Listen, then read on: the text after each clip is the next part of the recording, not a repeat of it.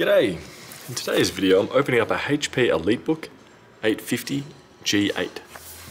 This one, I do want to fix the keyboard while I've got it open, but initially I do want to just see what can be upgraded and repaired on this exact model. So to begin with, take out the four screws I can see, maybe some screws hidden under here as well, I suspect there will be. It seems very odd to have screws right along, six screws along here, nothing else holding it in. So I'll lift this up with a pair of tweezers and see what I see.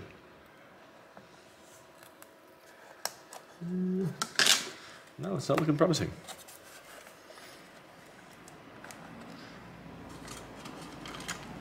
Just the line and just see if it's clipped.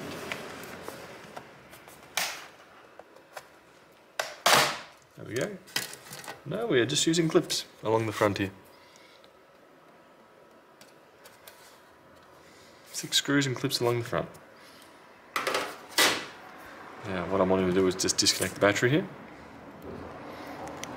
I'll zoom you guys in. Should be able to pull this back. That's it, disconnected there. And then have a few screws. One screw that's already loose, so this machine suffered a drop and has bent a bit at the front.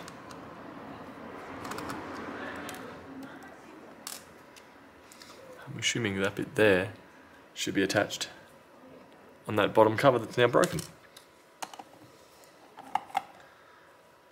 This battery removal you guys won't need to do, but that's what I'm up to at the moment.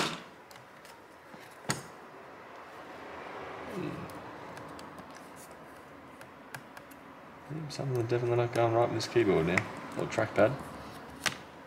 But let's have a look around. Looks like we've got a 256 gig NVMe drive here. It looks like we can install a smaller, is it 2230 NVMe I think it is.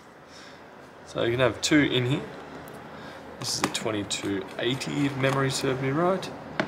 One single screw, wiggle it loose, comes out. So installation's pretty straightforward. Slide it in, push down slightly, slide it in, push down. Also we do have a CMOS battery here, or UEFI battery, that can be replaced if need be. Granted that's used to hold the various BIOS settings or the UEFI settings. Screw goes in back like so, and that's that one. Let's see what else can be upgraded. I like here, we have a replaceable power port or DC jack. If that gets damaged, you'd be able to undo this screw, push that out, and be able to replace this in case it does get damaged. What else do we have? We have a Wi-Fi card here, or an Intel AX201 NGW, perfectly fine. Uh,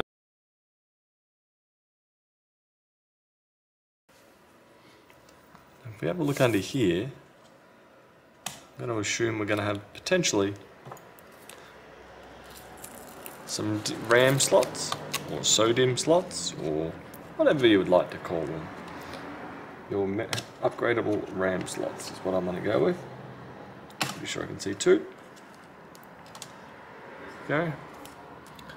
You'll want to take note of these all dotted around, the shield. If we pull these tabs out, should flick up, should be able to pull it out like that. Have a look here, we have 8 gig of DDR4 3200 megahertz. Do take note of the notch here and here. If you go put it back in, should be able to push it diagonally into it and then pull down. So I should be able to go in like that.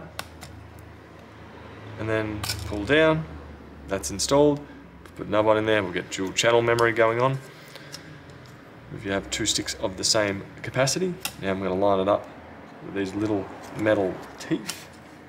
Not sure what the technical term for those ones would be.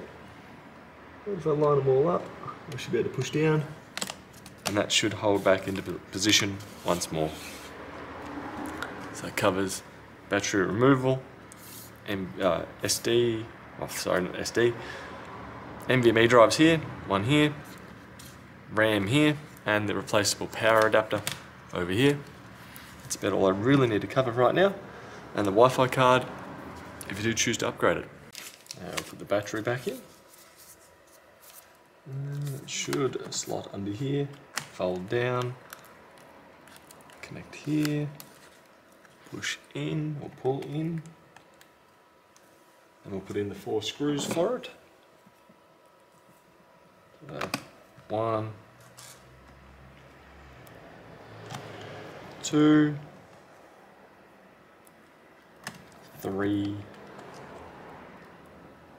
and four. Lastly, before I seal it up, I just want to go over the hinges just to tighten them up a little bit. They do wiggle loose over time. Definitely see that on nearly all laptops these days. They're getting a bit more turns than I would actually want from them. Go. Then from there, should be able to hopefully, uh, how are we going to attach? Looks like these go in the grooves along the front here. I'm assuming I could put it nearby, fold it forward, push it forward, and push down. And from there, should be able to do those extra screws up. That should lock it into place.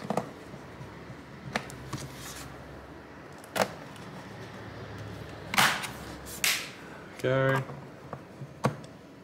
There. There. There we go. I hope that helps with the oh, upgrading your HP EliteBook 850 G8. Bye.